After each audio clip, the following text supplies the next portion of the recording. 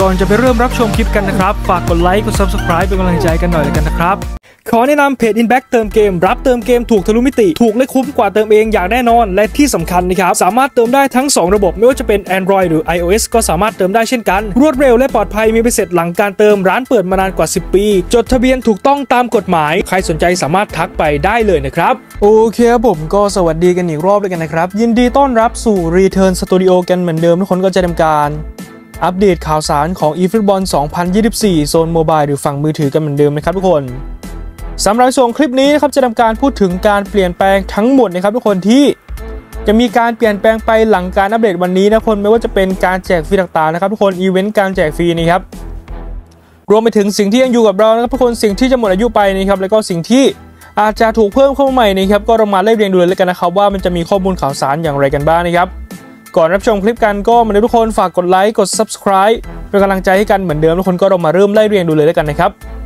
ก็อยากให้ทุกคนทราบนี้นะครับว่าวันนี้เป็นวันพฤหัสนะครับทุกคนตัวเกมนะครับมีการปิดอัปเดตกันเหมือนเดิมทุกคนก็คือเป็นตั้งแต่ช่วง9โมงเช้าที่ผ่านมานะครับจะเปิดอีกทีคือช่วงบ่าย3หรือว่า 15นาฬิกาไม่รวมเวลาเลื่อนกันทุกคน ย้ำอีกทีแล้วกันนะครับว่าจะเปิดอีกทีก็คือช่วงบ่าย3หรือว่า 15นาฬิกาไม่รวมเวลาเลื่อนนะครับถ้ามีการเลื่อนก็อาจจะเร็วกว่านั้น หรือไม่ก็อาจจะช้ากว่านั้นตามปกติของโคนามิอยู่แล้วนะครับและสิ่งที่เราต้องเจอในส่วนวันนี้ก็คือเริ่มแรกนะครับเป็นฝั่งของ Login Bonus นะครับทุกคนอันนี้ก็เจอกันทุกวันอยู่แล้วนะครับสำหรับใครที่ login ครบ 7 วันนะครับรับไป 60,000 GP แล้วก็ 50 ทองหรือว่า 50 e ฟุตบอลคอยนะครับและต่อมาคือทางฝั่งของ Kick Off the Continent นะครับอันนี้ก็ยังมีการแจกฟรีกันอยู่เหมือนเดิมนะครับสำหรับในส่วนของไอเทม Up Level หรือว่า EXP Training Program นะครับต่อมาเรามาเล่นในฝั่งของแพ็คนักเตะดูกันบ้างแล้วกันนะครับว่ามีแพ็คไหนที่ยังอยู่กับเรากันบ้างนะครับทุกคนมีแพ็คไหนที่หมดอายุไปกันบ้างแล้วก็มีแพ็คไหนที่อาจจะถูกเพิ่มเข้ามาใหม่กันบ้างนะครับ มาเริ่มที่แพ็คของ Show Time มันก่อนเลยแล้วกันนะครับสำหรับ Show Time ปัจจุบันนะครับทุกคนเป็น Show Time ของ Ligue 1 Uber Eats ทุกคนหรือว่าลีกเอิงฝรั่งเศสนะครับที่นำทัพโดยคีเลียนเอ็มบัปเป้ทุกคนจานลุยจิดอนนารุมม่านะครับแล้วก็เดนิสซาคาเรียนะครับซึ่งแพ็คนี้นะครับทุกคนยังไม่หมดอายุนะครับเพราะว่ายังอยู่กับเราจนถึงวันจันทร์หน้าเลยนะครับเช่นเดียวกันกับนี่ทุกคน Show Time ของ Super League นะครับวันนี้ก็จะหมดอายุที่วันจันทร์หน้าเช่นกันนะครับสำหรับ Show Time Super League อันนี้นะครับ สำหรับแพ็กที่หมดอายุวันนี้ก็คือเป็นแพ็กของ Show Time European Club Tournament อันนี้ทุกคนที่นำทัพโดยวินิซิอุสจูเนียร์ทุกคนโทนี่โครสและก็ลุกแมนนะครับวันนี้ก็คือหมดอายุเป็นที่เรียบร้อยนะครับเมื่อเกมเปิดมาก็ไม่เจอแล้วนะครับและสำหรับตำนานใหม่ๆนะทุกคนบอกเลยว่าอันนี้ครับในฐานข้อมูลก็มีถูกเพิ่มเข้ามาใหม่เยอะแยะมากมายเลยนะครับที่ยังไม่เอาเข้ามาให้เปิดนะครับ วันนี้ก็ต้องรอดูการยืนยันจากตัวเกมอีกทีแล้วกันนะครับว่า จะหยิบยกตำนานตัวไหนเข้ามากันบ้าง หรือว่าจะเป็นคิวของนักเตะ Show Time เหมือนเดิมวันนี้ก็ต้องรอดู การยืนยันเพิ่มเติมอีกทีแล้วกันนะครับ เพราะว่าในฐานข้อมูลก็คือมีนักเตะเยอะแยะมากมายเลยนะครับที่หลุดออกมานะครับแต่ว่ายังไม่ถูกเพิ่มเข้ามาในตัวเกมนะครับทุกคนรอตำนานคนไหนกันอยู่บ้างหรือว่าอยากให้นักเตะคนไหนเข้ามาเป็น Show Time กันบ้างก็ลองคอมเมนต์บอกกันเข้ามาได้เลยนะครับต่อมาก็ทางฝั่งของ Player of the Week ทุกคนสำหรับ Player of the Week ที่ทุกคนเห็นอยู่นี้นะครับก็หมดอายุเป็นที่เรียบร้อยนะครับสำหรับแพ็กที่นำทัพโดย จามาลมูเซียล่าทุกคนบาเรลล่าและก็ดานี่คาร์บาฆาลนะครับซึ่งเกมเปิดมาก็ไม่เจอแล้วนะครับและสำหรับแพ็กใหม่ก็คือมีหน้าตามาประมาณนี้เลยนะครับเมื่อวานนะครับทุกคนตัวเกมนะครับได้มีการเปิดเผยเงานักเตะมานะครับก็คือมีทั้งหมด 2 เงาด้วยกันนะครับเป็นเงาจากทีมชาติเบลเยียมทุกคนแล้วก็เป็นเงาจากทีมชาติโคลัมเบียนะครับซึ่ง 2 ตัวนี้นะครับจากที่ผมได้หาข้อมูลมานะทุกคนก็คาดว่าน่าจะเป็น 2 คนนี้ทุกคน เป็นฝั่งของ เควินเดอบรอยน์จากเบลเยียมนะทุกคนตำแหน่งของกองกลางตัวรุกนะครับแล้วก็อีกหนึ่งคนจากโคลัมเบียก็คือฮาเมสโรดริเกซนะครับตำแหน่งของปีกขวาทุกคนมาพร้อมกับไอเทม booster ทั้ง 2 คนเลยนะครับก็คาดว่าจะนำทัพโดย 2 คนนี้นะครับแล้วก็อีก 9 คนที่เหลือคือต้องไปรอลุ้นกันนะครับ ว่าจะมีใครกันบ้างที่มาพร้อมกับ 2 คนนี้นะครับ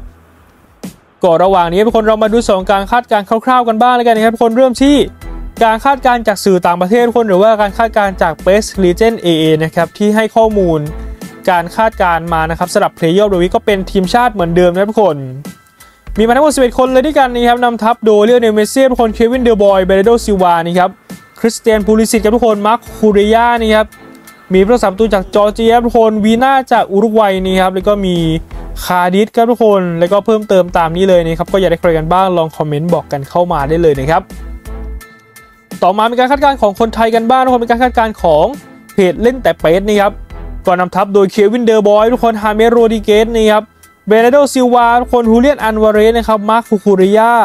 คริสเตียนพูลิสิกกันทุกคนผู้สนับสนุนจากจอร์เจียนะครับแล้วก็มีเพิ่มเติมอีกตามนี้เลยนะครับก็อยากได้ใครกันบ้างลองคอมเมนต์บอกกันเข้ามาได้เลยนะครับมีใครอยากได้เควินเดอบรอยน์ที่มาพร้อมกับไอเทม booster กันบ้างก็ลองคอมเมนต์บอกกันเข้ามาได้เลยนะครับเหมือนเดิมทุกคนคอมเมนต์คนไหนก็ขอให้เปิดได้คนนั้นแล้วกันนะครับ และต่อมาคือแพ็กที่มีมาให้แลกฟรีด้วยไอเทมดาวไอเทียมของ n o r i t i n g Contract นะครับอันนี้ก็เหลือเวลาอีก 2 สัปดาห์เลยด้วยกันนะครับทุกคนก็คืออายุคร่าวๆก็คืออีก 14 วันเลยด้วยกันนะครับต่อมาคือทางฝั่งของพวก premium pack พวกสโมสรแพ็คหรือว่าพวกแพ็คที่มีมาให้เหมากันบ้างนะครับสำหรับแพ็คที่ไม่มาเหมาตอนนี้ก็คือเป็นคิวของทีมชาตินะครับทุกคนก็ยังอยู่กับเราอีก 2 เดือนเลยด้วยกันนะครับทุกคนสำหรับ premium pack ต่างๆ หรือว่า National Pack ที่มีมาให้เหมานะครับวันนี้ก็เหลือเวลาอีก 2 เดือนเลยด้วยกันนะครับ ต่อมานะครับผมทางฝั่งของอีเวนต์การแจกฟรีกันบ้างครับทุกคน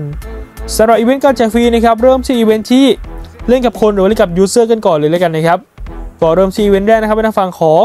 European Cup Tournament นะครับที่เป็นรูปภาพของนาโปลีนี้ครับวันนี้ก็หมดอายุแล้วเช่นกันสำหรับวันนี้นะครับรวมไปถึงอีเวนต์ของ Golden Goal วันนี้นะครับก็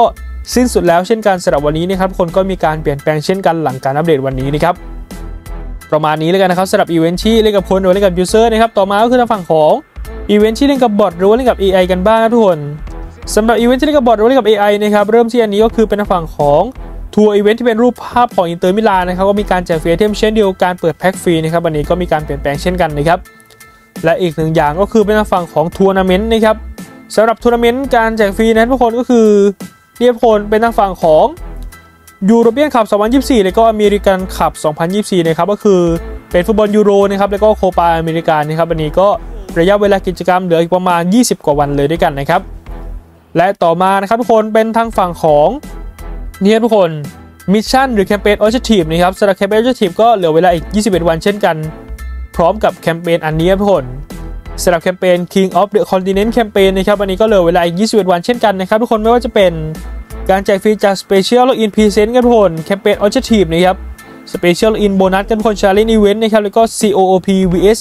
AI Event นะครับแล้วก็ปิดท้ายด้วยทัวร์นาเมนต์นะครับก็คือมีการแจกฟรีเยอะแยะมากมายตามที่ทุกคนเห็นอยู่เลยนี่ครับเพราะว่ามันเป็นแคมเปญของทีมชาตินะครับ ทุกคนก็อยู่กับเราอีก 21 วันเลยด้วยกันนะครับทุกคนก็ใครยังไม่ได้ร่วมกิจกรรมนะครับก็อย่าลืมเข้าไปเคลียร์กิจกรรมเพื่อรับของรางวัลรับของฟรีกันด้วยแล้วกันนะครับและปิดท้ายด้วยในส่วนของ Daily Game นะครับสำหรับ Daily Game นะครับทุกคนก็อยากให้ทุกคนเข้าไปยิงจุดโทษกันให้เยอะๆนะครับเพราะว่าของรางวัลมันเหลืออีกเยอะแยะมากมายเลยด้วยกันนะครับสำหรับ Daily Game วันนี้เนี่ยคนก็อย่าลืมเข้าไปยิงจุดโทษกันด้วยแล้วกันนะครับก็อย่างที่ทราบนี้นะครับว่าวันนี้ทุกคนเป็นวันพฤหัสนะครับก็คือตัวเกมนะครับมีการปิดอัปเดตกันเหมือนเดิมนะครับทุกคนปิดตั้งแต่ช่วง9โมงเช้าที่ผ่านมานะครับทุกคนจะเปิดเดทเคียวคือช่วงบ่าย3หรือว่า 15 นาฬิกาไม่รวมเวลาเลื่อนนะครับถ้ามีการเลื่อนก็อาจจะเร็วกว่านั้น หรือไม่ก็อาจจะช้ากว่านั้นตามปกติของโคนามิอยู่แล้วนะครับก็เดี๋ยวช่วงบ่ายนะครับทุกคนมีการอัปเดตเพิ่มเติมผมก็จะทำการลงคลิปอัปเดตให้ทุกคนทราบกันเหมือนเดิมนะครับก็ทั้งหมดทั้งมวล ประมาณนี้ทุกคนหากผิดพลาดประการไหนก็ต้องขออภัยไว้ด้วยเลยกันนะครับ ไว้เจอกันใหม่ในคลิปหน้าทุกคนคลิปนี้ขอตัวลาไปก่อนสวัสดีครับ